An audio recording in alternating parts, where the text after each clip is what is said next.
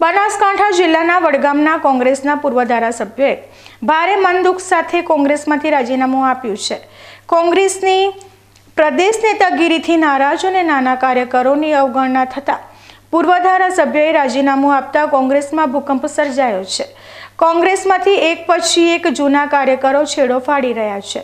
આજે વડગામ તાલુકાના પૂર્વ ધારાસભ્ય મણિભાઈ વાઘેલાએ કોંગ્રેસમાંથી રાજીનામું આપી દેતા ભૂકંપ જેવી પરિસ્થિતિ સર્જાઈ છે. મણિભાઈ વાઘેલા છેલ્લા પાંત્રીસ વર્ષથી કોંગ્રેસ સાથે જોડાયેલા હતા.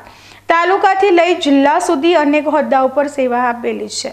તેમજ બે હજાર બારમાં ભાજપના કેબિનેટ મંત્રીને હરાવી વડગામ બેઠક પરથી તેઓ વિજેતા બની ધારાસભ્ય બન્યા હતા. આ સિવાય કોંગ્રેસમાંથી અનેક ધારાસભ્યો ભાજપમાં જોડાયા હતા.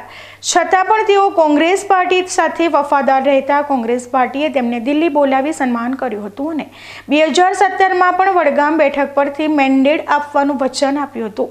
જો કે કોંગ્રેસ પાર્ટીએ તેનું વચન ન પાડતા અને વડગામ બેઠક પર અપક્ષ ઉમેદવાર જિગ્નેશ મેવાણીને ટેકો આપ્યો હતો. ત્યારબાદ પણ કોંગ્રેસના પૂર્વ પ્રમુખની અણઆવડત, અપરિપક્વતા ભર્યા નિર્ણયો તેમજ પ્રવર્તમાન સંજોગોમાં કોંગ્રેસની કાર્યનીતિ, વિચારધારા અને નાના કાર્યકરોને સતત અવગણના થતાં આખરે કંટાળેલા પૂર્વ ધારાસભ્ય મણિભાઈ વાઘેલાએ ભારે દુઃખ સાથે કોંગ્રેસ પાર્ટીનો છેડો ફાડ્યો છે.